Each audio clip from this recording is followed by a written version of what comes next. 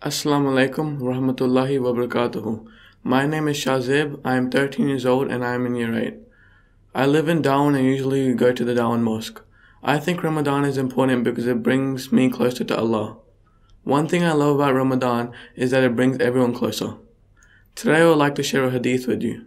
The Prophet, peace be upon him, was the most generous of all people, and used to become more generous in Ramadan when he met Gabriel, Gabriel used to meet him every night during Ramadan to revise the Quran with him. Allah's Messenger, peace be upon him, then used to be more generous than the fast wind. Assalamu alaikum rahmatullahi wa barakatuh.